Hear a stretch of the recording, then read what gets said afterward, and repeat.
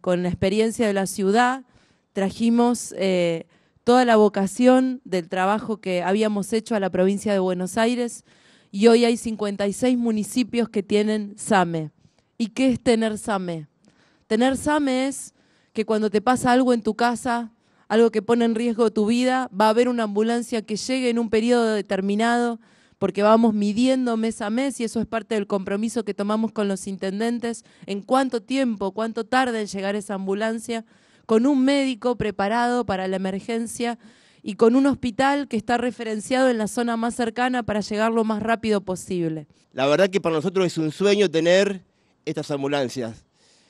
Tenemos 180 kilómetros cuadrados, solamente cinco ambulancias.